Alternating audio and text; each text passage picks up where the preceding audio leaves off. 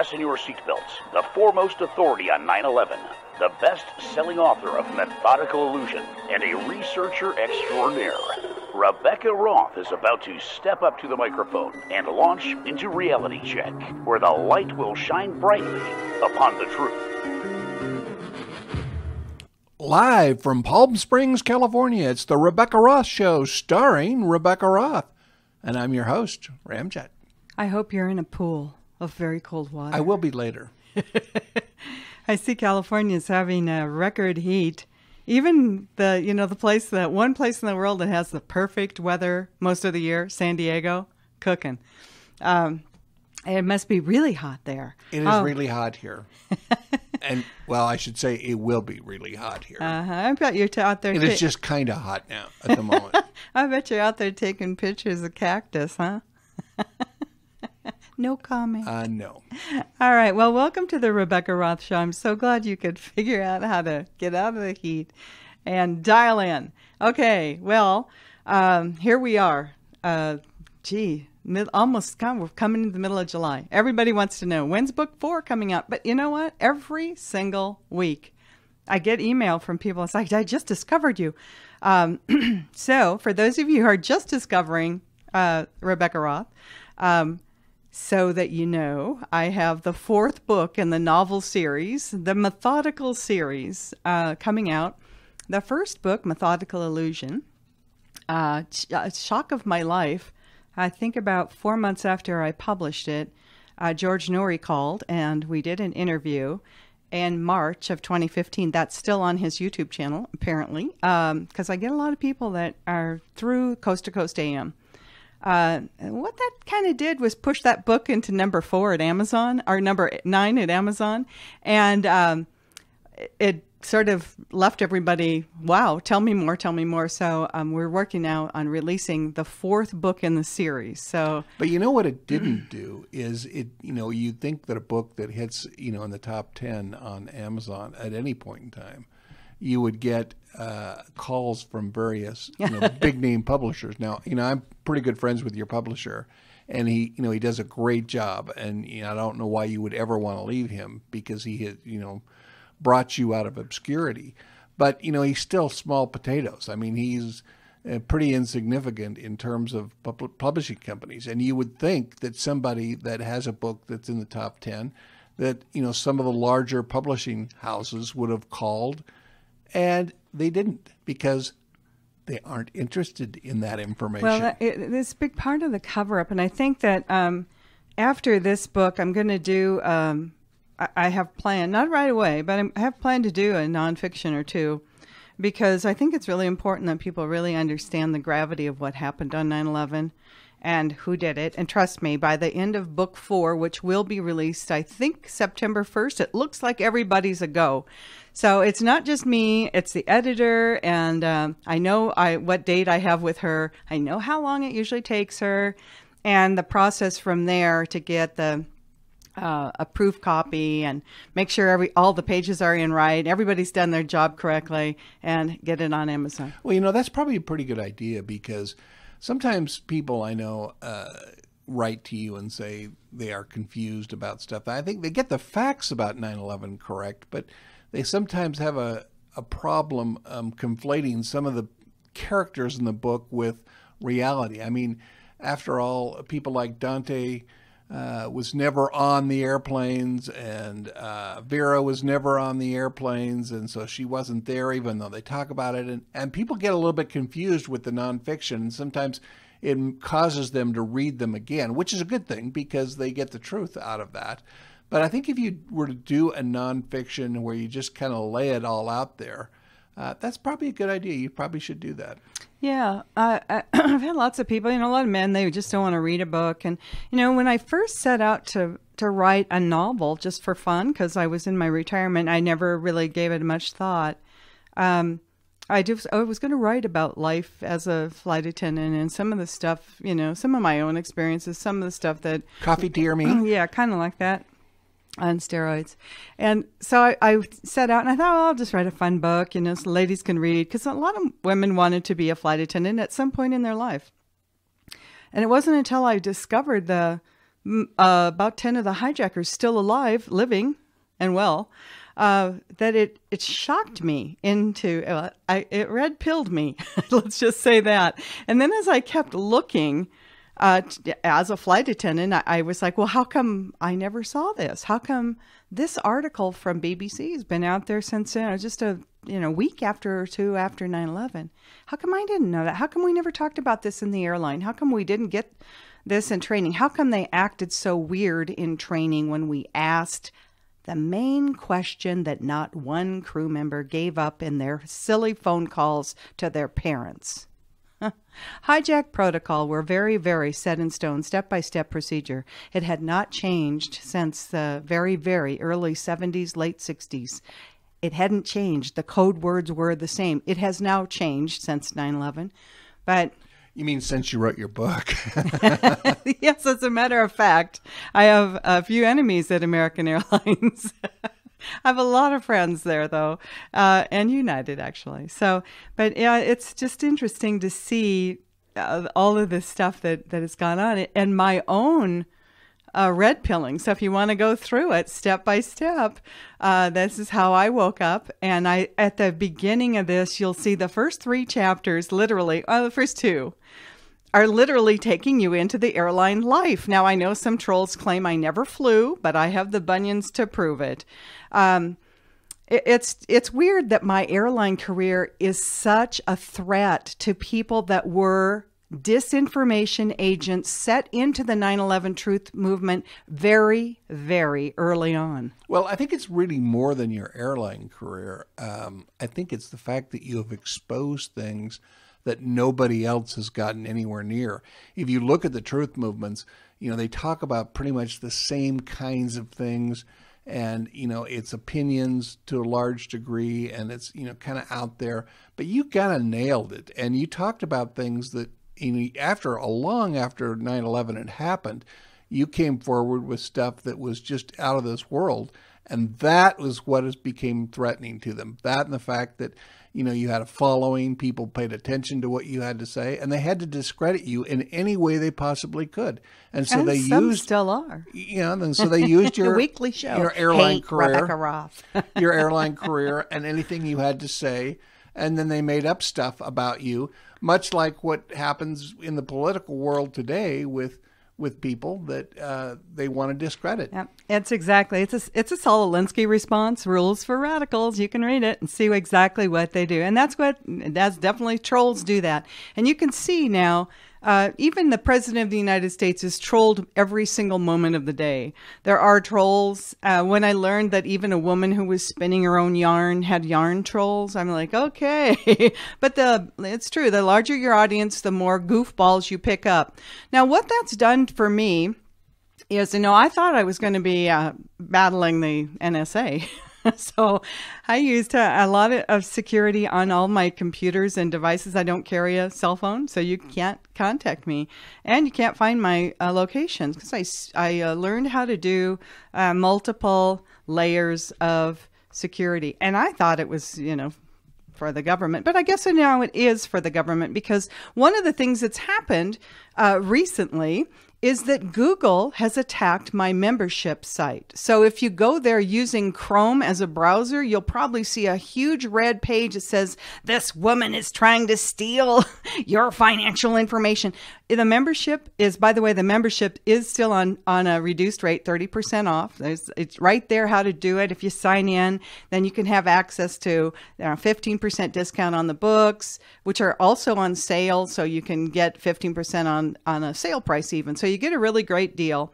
Uh, but you'll have to use a different browser. Or if you use Google and you want to keep using Google, there's a, a text on there that says details. And then there's an option to go to the site anyway. I am not phishing. When you sign up for a membership, it goes directly into PayPal. So if PayPal's phishing you, well, that's their problem. I don't think they are. Um, so anyway, that's kind of what's happening. But this is an attack, and you have to understand who Google represents and why are they attacking a woman, an old retired bird like myself, uh, over three, soon to be four novels. You have to ask yourself that because what does that say? I mean, it's powerful when a corporation as huge as Google and maybe they'll go on to other uh, browsers, Bing or whoever. But it started with Google, and that's a huge uh, outfit. So if you Google search the books, or I mean, it's buried under a whole bunch of trash by trolls.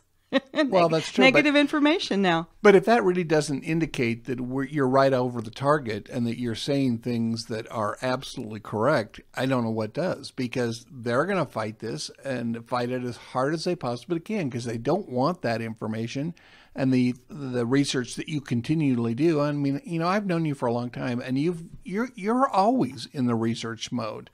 I mean, you know, you you drive down the street and uh, you know you're looking at things that uh, always relate back to 9/11. So the fact that Google is, uh, you know, trying to discredit you tells me a lot. I mean, they're a big, big company, and you're not. and very connected to DARPA and the United States government. Oh, imagine that. Uh, so again, I mean, it's just uh, it's fascinating. As I never thought my retirement would be um, so exciting. But what that's done is caused a, a, secure situation for me, a security problem, actually. So, in order to stay secure, to write this next book and to get this book out, and this is the last one of the series, the novel series is over, and you won't need any more than the. the last chapter of this book will secure and cement exactly who did what now there may be how more, more information that you know you uncover, but you'll figure out a different way to deliver it. Exactly. It won't be in a novel format, and uh, Dante Wilcox won't. Uh, yeah, and you know, the, I think one of the set asides, not just my airline career, but what happened after uh, the Coast to Coast AM interview is that a whole bunch of people, uh, I guess, heard that he has a large audience, and. Um, I started to get people coming forward for that were you know, other aviation people, pilots, flight attendants, people that knew crew members, people that were related to crew members, uh, air traffic controllers that knew that day something was wrong. Some of them made recordings.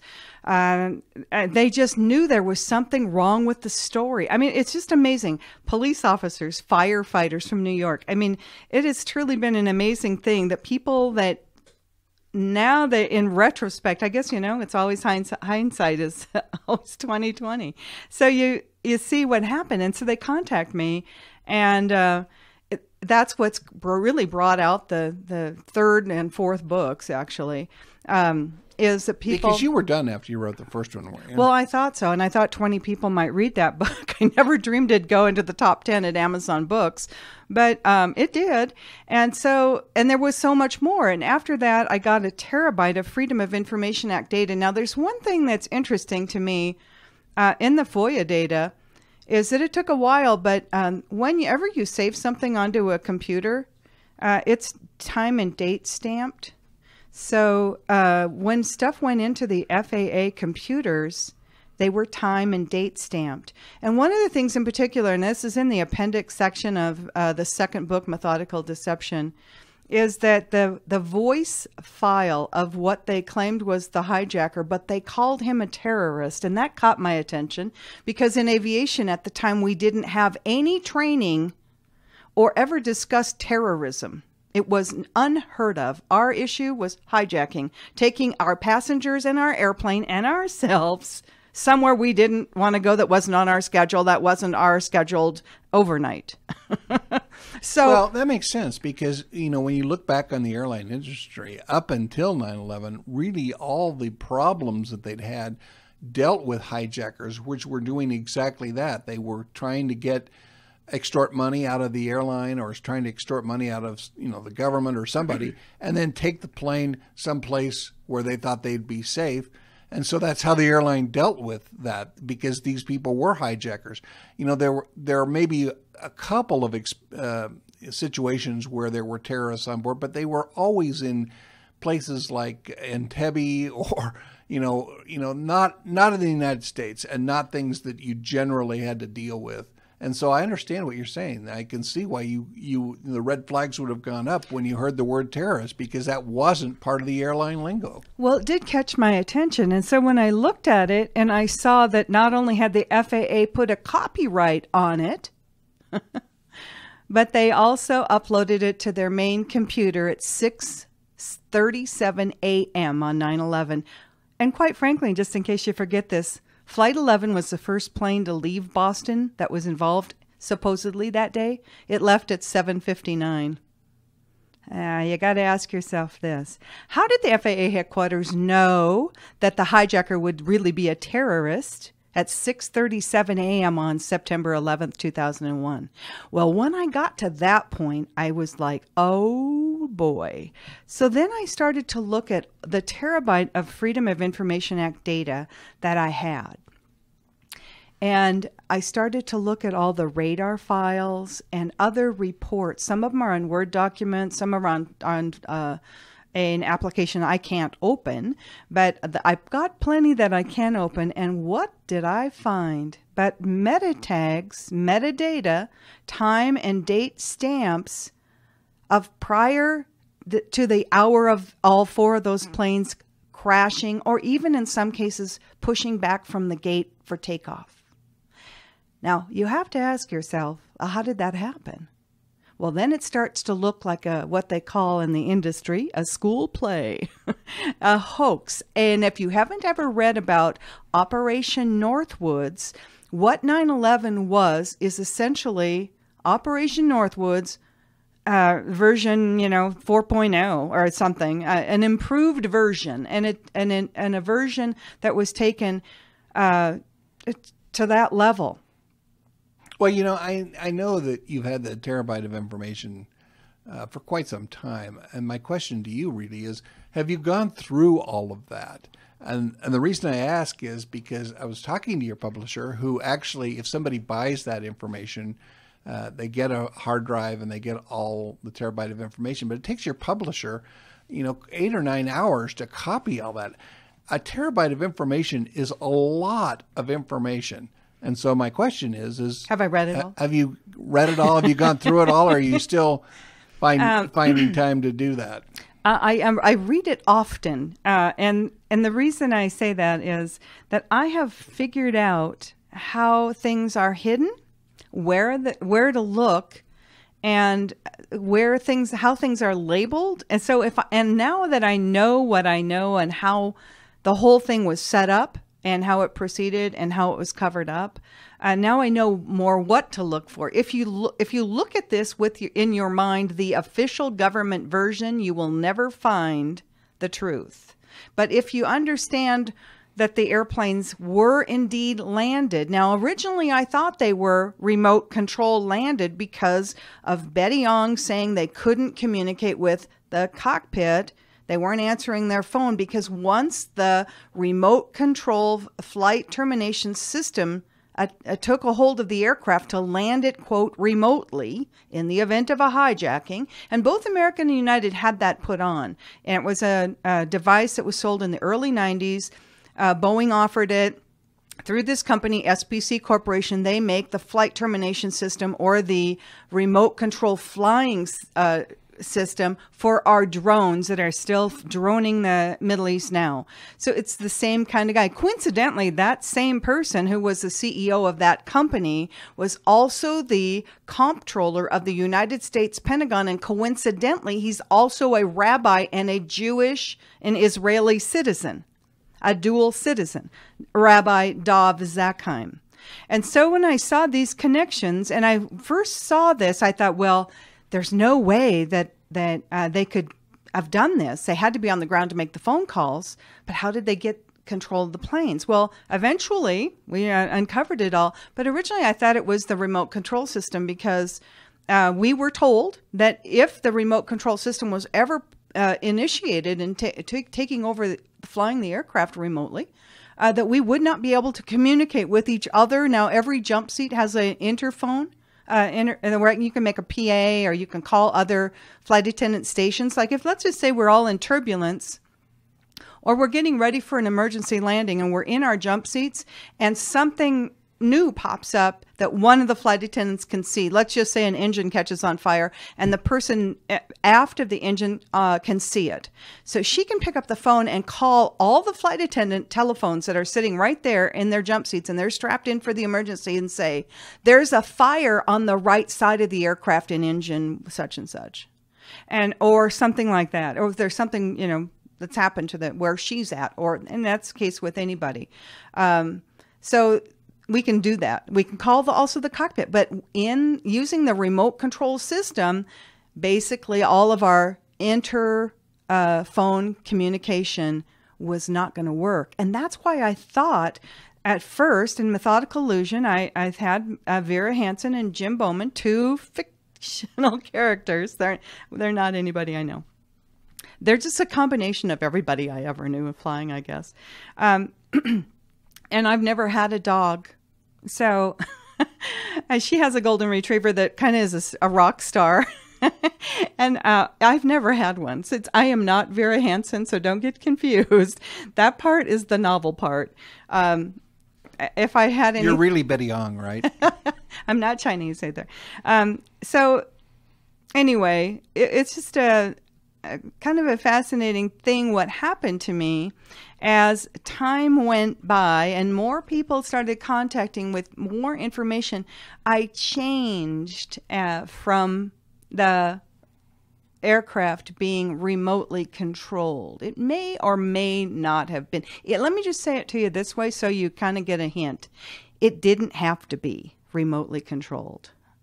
But it did have to be, all four aircraft had to be on the ground. Now, a couple weeks ago on a Saturday show, I know I let this out, so I'm going to let it out again because one of the things I just recently found in in the uh, FOIA data. And at the time, the first time through, and I know I've read, well, I haven't read every file because there's a gazillion files, but I'm sure I probably read this. It didn't make any sense to me. But now that I know what I know, uh, an, an American Airlines dispatcher was watching now, they have a different way of watching uh, the airplanes than air traffic control. Dispatchers have a other couple other things. There's ACARS, which is a text message system computer that's there, and it pings when you ping an airplane.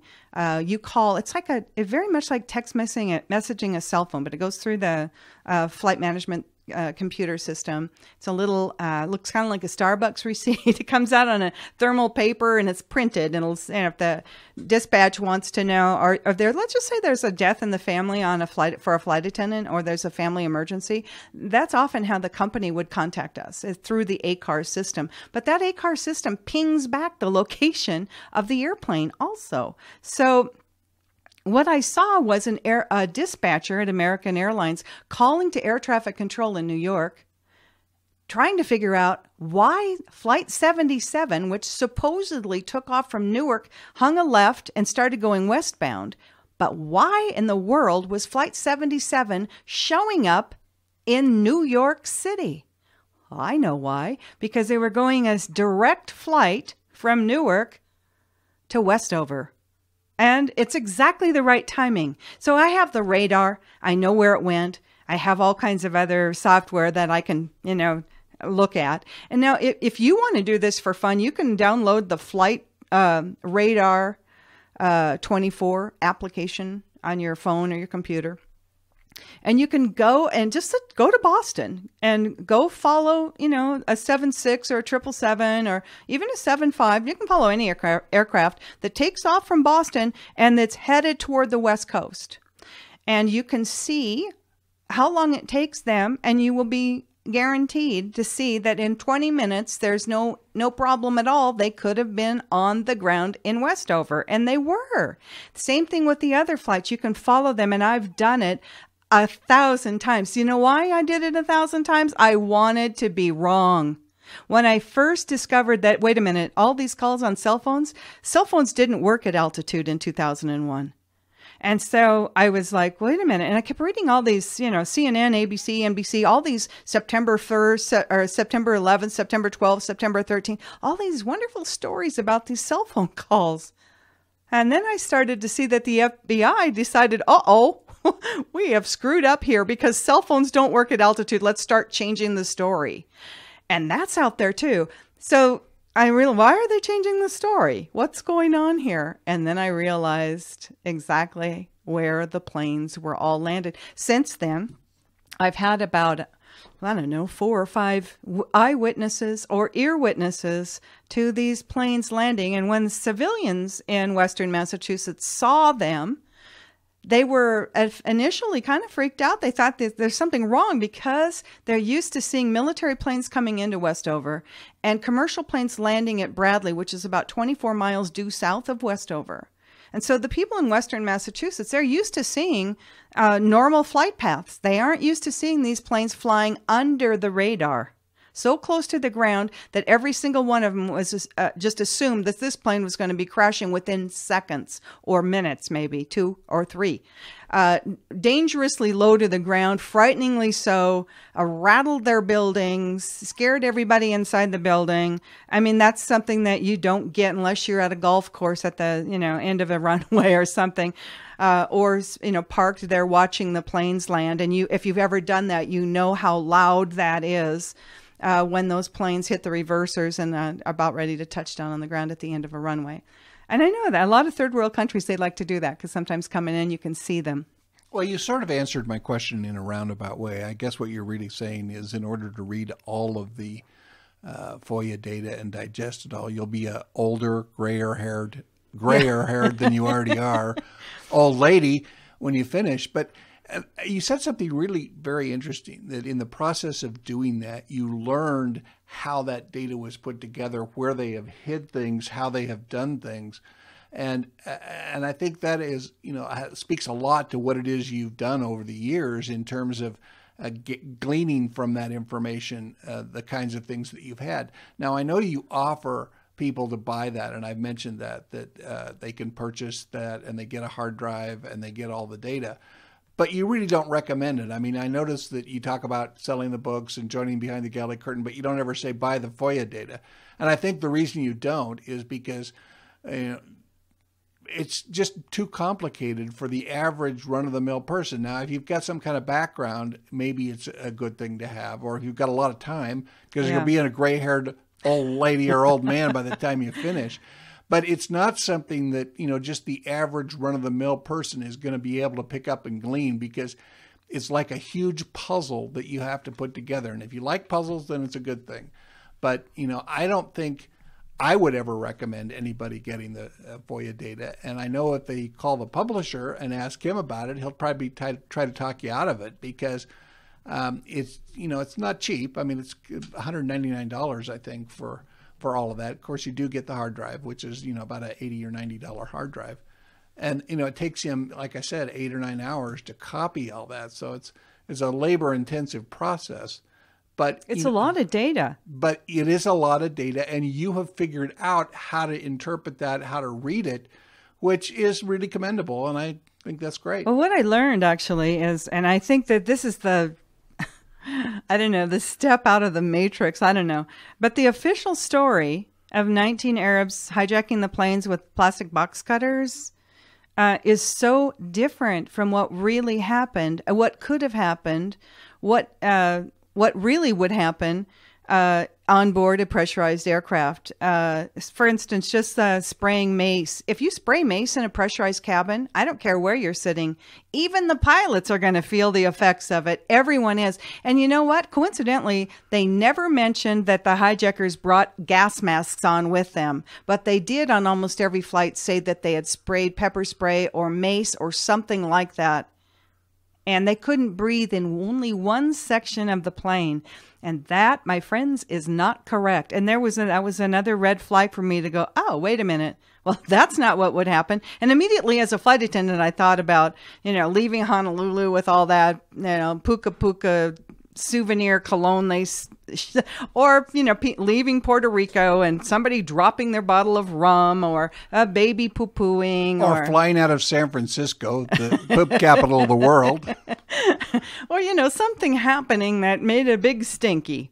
And uh, it, it's it's through the whole aircraft. So if there's a stinky on board or a toxic uh, gas or whatever uh, you'd call that aerosol uh, you're going to get it everywhere. And one of the things that I saw is that Betty Ong, who was on the phone for almost a half an hour, and her friend uh, Amy Sweeney, uh, who was on the phone off and on for you know 20 minutes or so. Neither one of them complained about the effects of that. And I went, wait a minute. The same with on Flight 175, uh, which we have a real solid eyewitness for.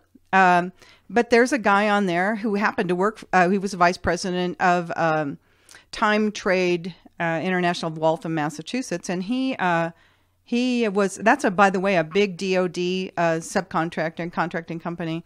Uh, they get most of their contracts through now Department of Homeland Security and the Department of Defense. Coincidentally, both of the eyewitnesses supposedly eyewitnesses from United 175. Both of them were in, involved with um, large uh, shadow government or DoD uh, government contractors, that sort of thing. One worked for MITRE and the other for Time Trade um, of Waltham, Massachusetts.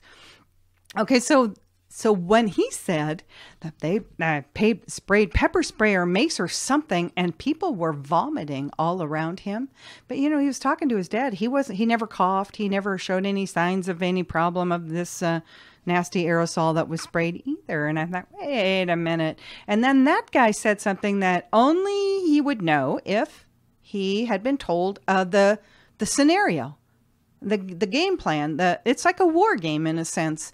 Uh, he told his dad on the phone, he called by his cell phone also, and being right over about five to 7,000 foot elevation, uh, altitude, right over the Hudson River on the right side of the airplane, he could see the Statue of Liberty and Manhattan. He told his dad they, he, he was convinced that the hijackers who could not speak English were going to take that plane and fly it to Chicago into a building. Now, if you think about this, after, uh, you know, well, even after uh, the first explosion hit the North Tower, everybody thought first, and I have document after document after document claiming it was a helicopter, a Sikorsky helicopter that had left the Pentagon that was down on Wall Street, that it was a, a Cessna or a small aircraft or a helicopter, and just about anything but a 767. Now, if you've been listening to this show from the beginning. This to this point, we've been uh, basically 30 minutes, and that's how long Betty Ong talked. exactly. And you know that you Good know point. you think about that. That's kind of That's a long time. unbelievable, really, that she would have done that. But here's something else to keep in mind: if the hijackers, as official government story went, were on all four of those planes, and they took those planes, both two of them into the uh, twin towers, one into the Pentagon, and one into Shanksville those hijackers would have never allowed anybody to make phone calls and they'd have just done what they did because that was the most important thing for them so to speak.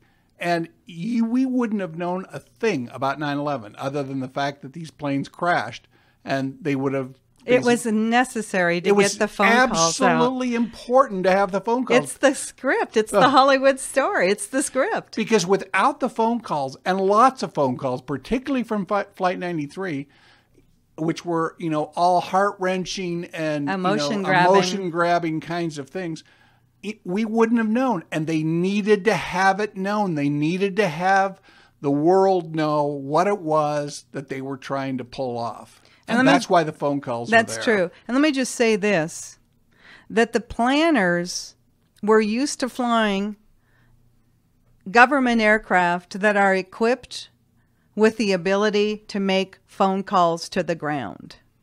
Whether that's a cell, I mean, I just was uh, listening to somebody talking about Air Force One the other day. There was something like 20 some television sets. That guy can watch any channel around the world. So there's equipment like that. The um, government planes might be equipped to make cell phone calls. Even they could have been in 2001. I'm sure they were.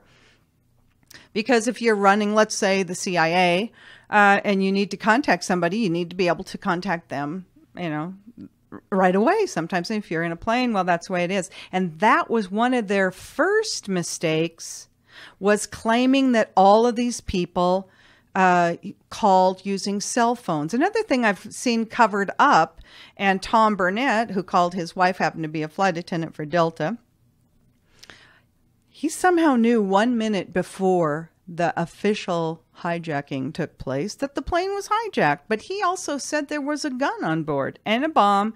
And so you have all of these uh, weapons. You have uh, and al- almost if you keep reading through uh, this through the story, you just keep reading through all the data, which is what I do. Is you see that there were box cutters, knives, bombs, guns, mace and or pepper spray, all of those things were not allowed to go through security. Maybe and- security took the day off that day. it was a holiday. Well, I've even found all of the interviews uh, that were done with all of the people that worked security at Boston Logan, uh, at Newark, and uh, Washington Dulles. So that and that's kind of interesting too, because a lot of them were new immigrants. Some of them had been here about a year. A lot of them were Muslim. Uh, so I'm questioning now the the because because I know that 9/11 was planned long before George W. Bush got into the White House. And I know that the uh, people who ran Security Huntleigh USA is a subsidiary of an Israeli company whose CEO, owner, founder was sitting in prison, ICTS Corporation, and that they chose in the year or two prior to 9 11 to fill uh, most of the um, security people, and this was when security was, um, you know, run not by the government. Well, you know, after the fact, I think peop, uh, people that planned 9/11 actually realized that they goofed. I know they it, know. when it came to the cell phones and to the airphones and whatnot, and the communication, which I just mentioned was so important. It had to happen. But if you'll notice, in the movies that happened since 9/11, Hollywood has helped proliferate that story. I remember a lot of the uh, 24 shows that you know I've always enjoyed watching. Jack Bauer could always talk on his cell phone to the president or whoever it was he wanted to talk to. Clara's could be connection, absolutely no problem. And they just magnified that in an effort to help people realize that, oh, you can talk on cell phones. Well, of course, now you can. And so that's not going to be a big deal. But, you know, for those 10 or 15 years after 9 11, Hollywood continued to perpetuate the crazy nonsense that cell phones could work on airplanes. And they can't, and they couldn't. Operation Mockingbird. And this if you understand the both the connection with the CIA and the Mossad and Hollywood, then you understand why they've why they've continued to do this crazy stuff. And remember uh, they've chose to do a movie or two about Flight 93. Well, Flight 93 was already parked at the ground almost 10 minutes or more before the phone call started. That's how Tom Burnett made a mistake. And those mistakes in the timeline are where they always make mistakes. Now, this is the same kind of thing we're seeing now with the hoax that the FBI has put together. Not just the FBI, the CIA, they work together hand in hand, and the MI6, same people that were involved in 9 11. Uh, with the Russia hoax, claiming that Donald Trump is a Russian agent and that he got some kind of help, but nobody can find it. Uh, he's so clever that uh, he's hidden it all from the best, the FBI. Okay, so this is just nonsense, but it's the same kind of thing. The timeline is flawed. And so what you find is people like Susan Rice and Peter Strzok and stuff making false timelines. And that's kind of one of the things that I found the holes were in in the FOIA data once I realized when the planes were making phone calls, they all were on the ground at Westover. They all were. Nobody went to Cleveland except Delta 1989. And that's another story. And actually, that story is in uh, the third book, Methodical Conclusion. And more of it is going to be in a Methodical ah, number four. Methodical number four. I'm not even giving away the title yet because, uh, first off, I'm going to do that with the members first, and then they get to see the artwork and they get to see the website first. So if you want to become a member and you want to see the picture of what the uh, book is going to look like, uh, it all will happen. Um, uh, over through the membership site. Is before the fourth book public. called Methodical Insanity? it should be. Um, so yeah, it's kind of fascinating to see what what goes on here. So what else do I need to say? Oh, uh, about that fourth book. It should be available September 1st, give or take a day or two. It may come out a few days earlier than that. But if it does, I will, if you follow us on Vimeo, please, because uh, Google owns YouTube. And uh, my YouTube channel, I look at that YouTube channel. I do it for a lot of people that can't get Vimeo in their country. Uh, but I look at it as uh, just as temporary as uh, it can be. Um, so please follow us either on Spreaker, S P R E A K E R, or through RebekahRothShow.com. Uh, become a member, or you can actually go over to Behind the Galley Curtain, hit Saturday shows, and watch those there. They're embedded. You don't have to be a member. There's uh, several free uh, pages over there on that uh, BehindTheGalleyCurtain.com page, the membership site. Now, have you already started booking shows on uh, people's shows for doing your book at all? I haven't been doing any interviews, but I know I've got some coming up. We'll talk about that when it gets a little closer. Um, but yeah, September 1st is the, the release, and it, that I was planning to have that out. I thought in March, but because of my back injury and having to travel to stay alive. Uh, after you know having a drone show up where I was, it was, it was pretty disheartening. And then having Google do this, I mean, it's like okay, well they're serious, and I really would like to live long enough to get a nonfiction, at least one out, so you can really see um, the data. So you can see you know i'm not just somebody that has an opinion. I use a terabyte of freedom of information act data and a lot more. So there's uh, there are literally thousands of pages of FBI documents as well, 302s from initial interviews. There's a lot of information in those as well, and I keep reading those also. Because as I have continued along. I've had a lot of people that were employees from American and United and other airlines that were in positions in dispatch and operations and crew scheduling and other uh, re- reservations and other uh, aspects of those companies that had an experience that day. Let me just say it to you that way. Had an experience that day with a government agency that was out of the out of this world, out of the norm. And so I've had a lot of people share information uh, about passenger manifests and uh, the, the, real information that was really uh, out there and that's been hidden from you. And so it's been really, to me, very fascinating to see how, how many people have come forward and um, had shared information and and uh, you know I've said this before I'll say it again I, I've never been a conspiracy nut I don't I use government uh, data or uh, you know, S302s from the FBI, watch the many changes in them. Uh, stuff that's been put into court for Zacarias Moussaoui, the so called 20th hijacker. And it goes beyond, it goes clear back into the Oklahoma City bombing information. I mean, this is, this is not, it's all connected, is what I'm saying. It is all connected. And it's all connected to the same organizations and agencies that are behind the current Russia Trump hoax. And so, if you know what you're looking at and you understand, you can see there are mistakes and missteps in a timeline.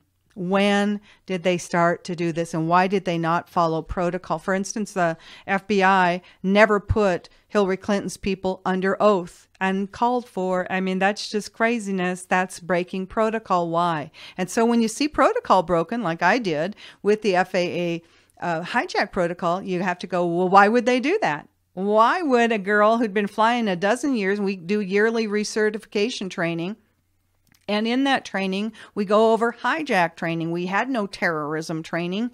Uh, there was none. And if you've ever read about a flight attendant that was in terrorist training, you're reading a lie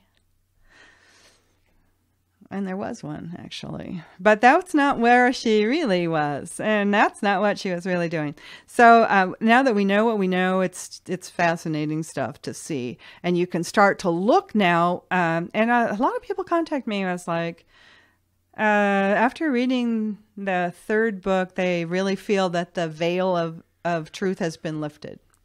They feel like they can now digest this and it literally was a step-by-step process. And for me I can say this. If you read the books in order illusion, deception, conclusion, and then the fourth book, you will be going through red pilling just like me. And just so you're going to uh, tape a red pill onto the fourth book, the cover on the cover. So if you buy a whole set, you get a free red pill.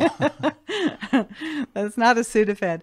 Um, yeah, it's just uh, kind of a fascinating thing to see. Um, all the people that have shared just vital information that didn't go along with the government's official conspiracy. Um, because well, what's fascinating is these people uh, who who had this information had no place to take it. I mean, you're not going to call the FBI and say, "Hey, guess what? You know, I know this, this, and this, and that, and whatnot about you know Flight 11 and or Flight 93." The FBI is not going to want that information. Partly because one, they already know the truth, and two, their job is to cover it up because they're the most corrupt organization in the history of the world. That's true. And you know, it's interesting too that what happened, and I have this in data also, what happened uh, on 9 11 was highly unusual for an airplane incident. Normally, the chain of command is that the NTSB, the National Transportation Safety Board, and then the FBI or the uh, FAA, Federal Aviation Administration, uh, get the data from a crash or incident or anything that happens, of you know whatever airplane thing.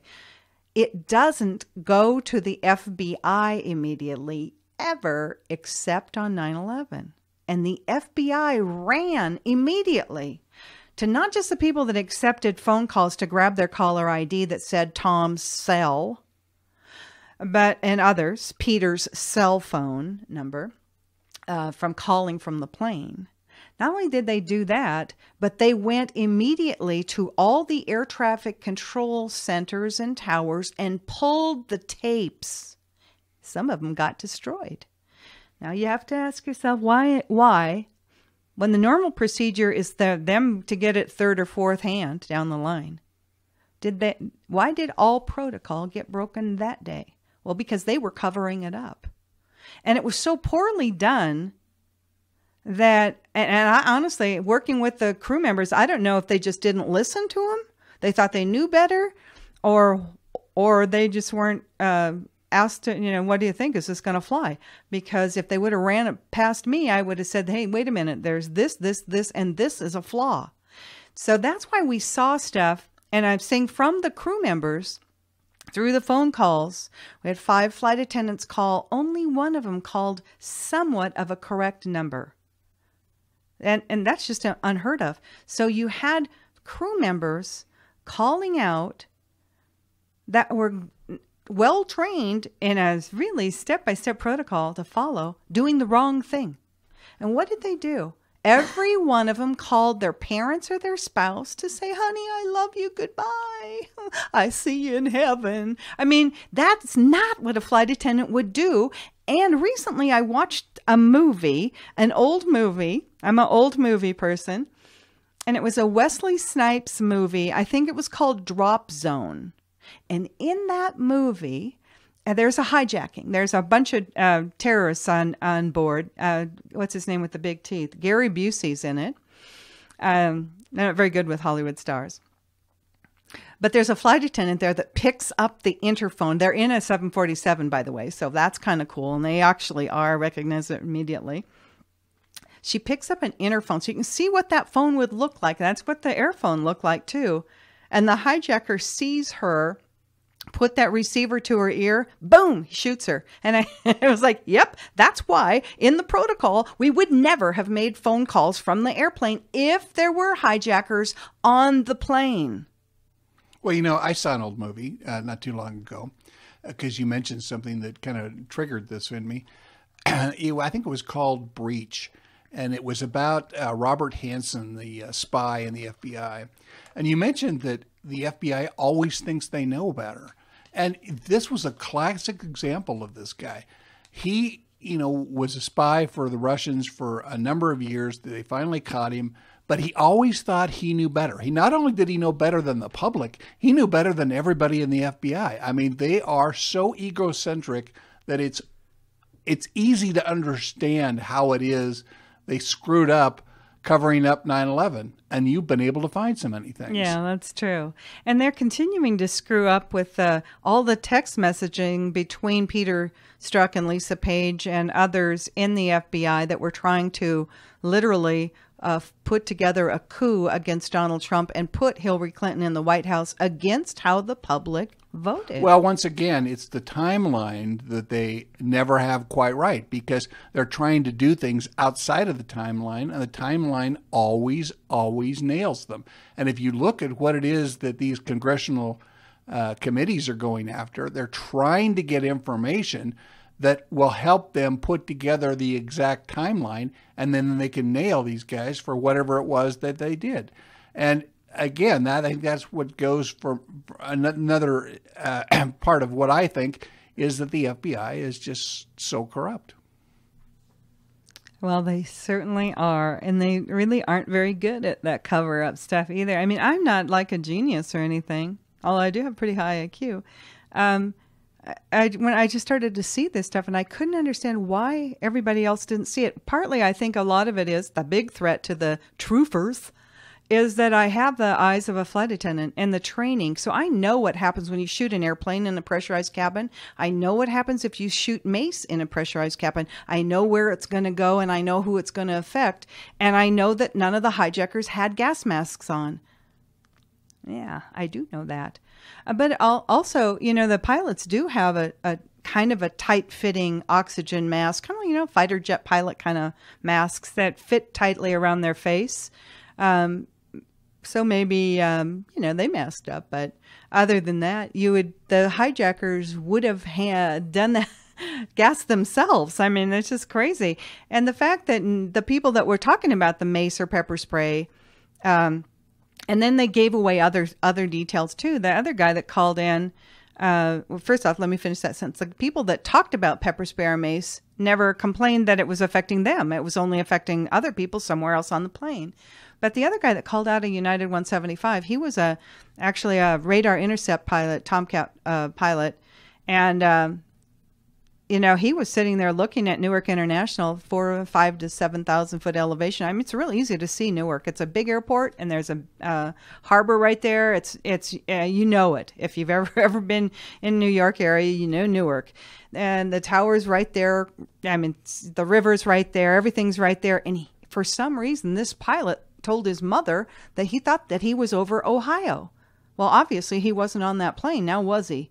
Because I have pictures that a flight attendant from American Airlines took out the window of exactly what he was looking at. I've got it and I'm going to put it up. I'm going to do, as soon as this book's out, I'm going to beef up the membership site with some of the data that I have so that you can see it.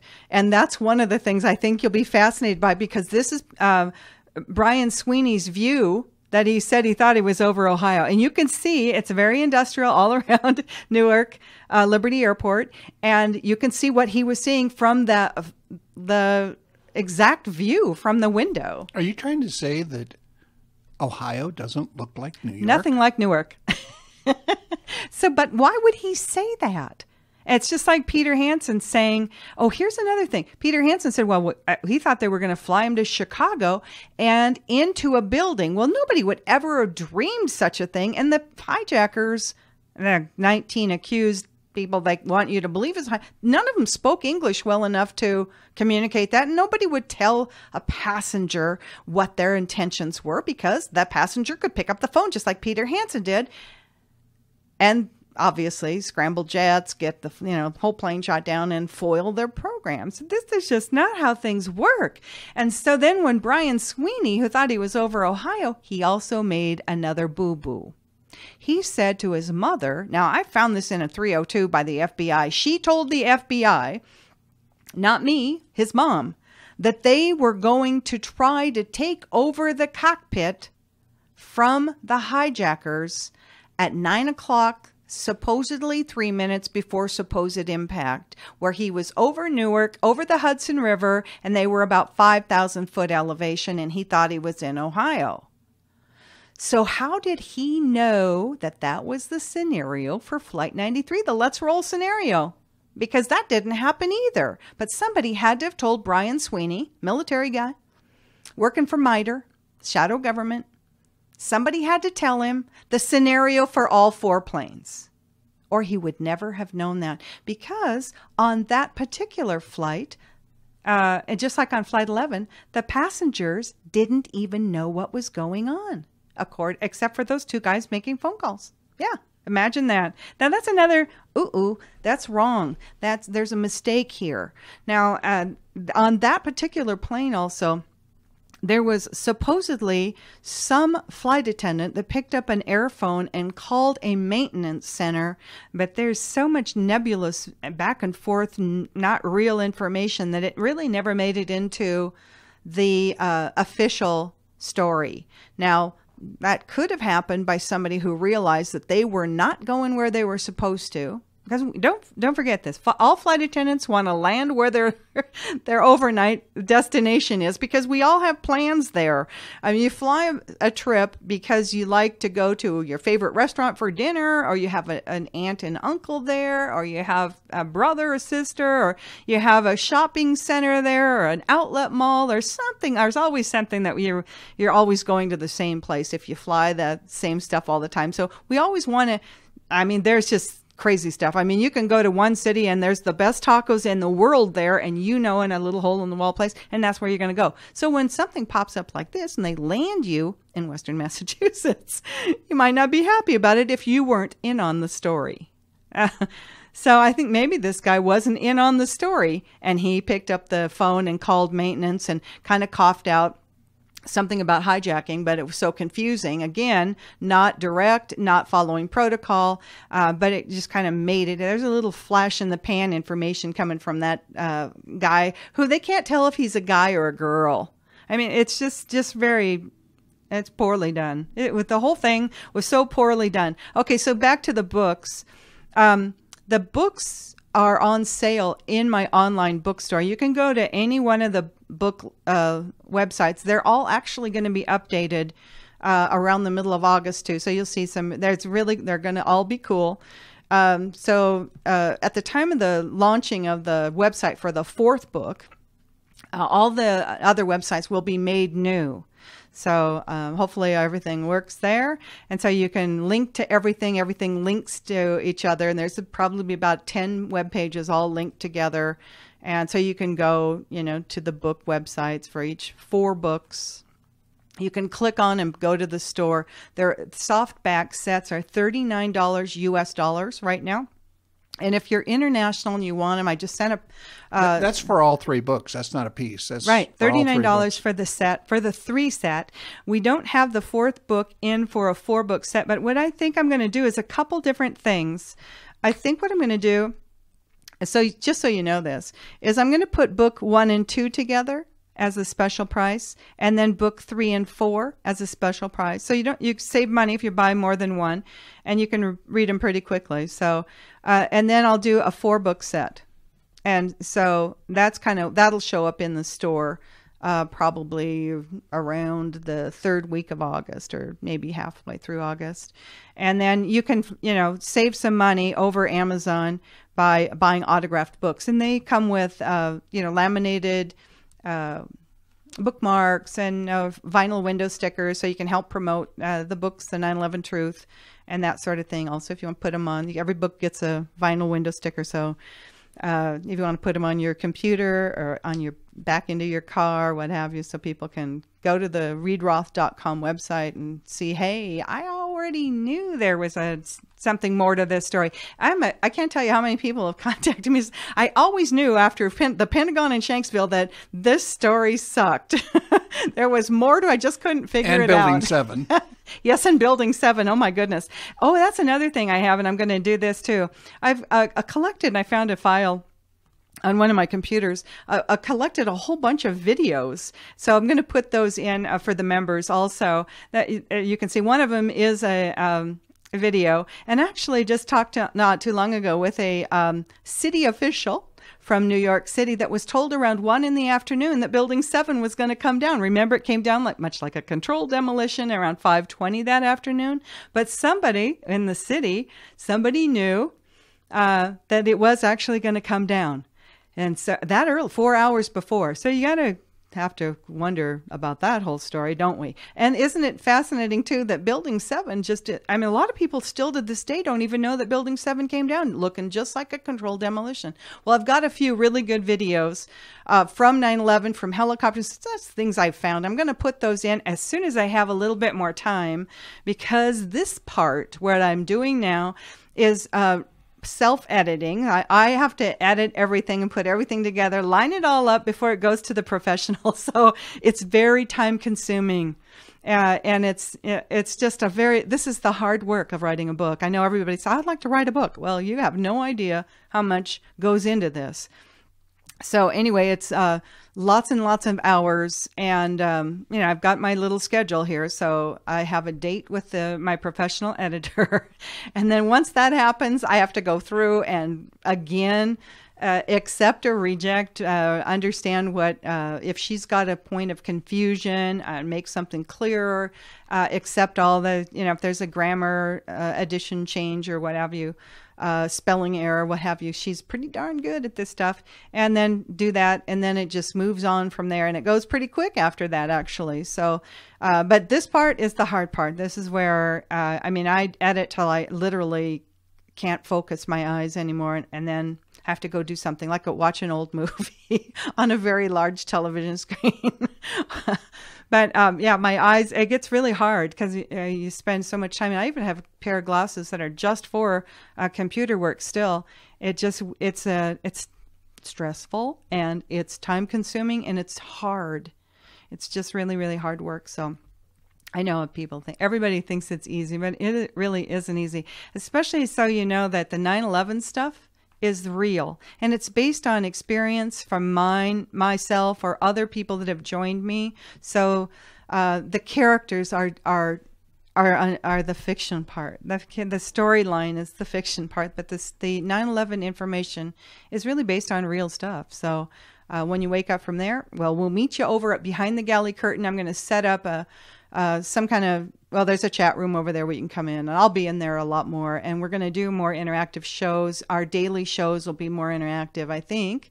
And um, we'll do something i think we're going to do a longer show on our daily also. So um, we'll just have it all figured out and and it's a nice place to go. A lot of people like it because when we do our daily news show uh, we kind of dissect through stuff and it's not like you're going to get on fox or cnn or abc or nbc it's uh, it's just not it's not fake news. It's we try to cover uh, stuff truthfully and help you understand uh, who's who at the zoo and who's pulling the strings because it, it is it is what it is. Okay here's the little homework assignment and we're going to be done. All the uh, websites are in the description box down below and if you've never read, go ahead and write this down. You want to read up on Operation Northwoods, Operation Mockingbird, and you'll have a little bit better understanding of the manipulation every single and even some alternative shows, uh, the larger ones, are controlling the narrative and they are manipulating how you think about not just 9 11, but other groups of people, other religions, other uh, societies and cultures, and, and the like. And they have a long history of doing so. So there you go. Thanks for joining us, and we'll see you over at BehindTheGalleyCurtain.com.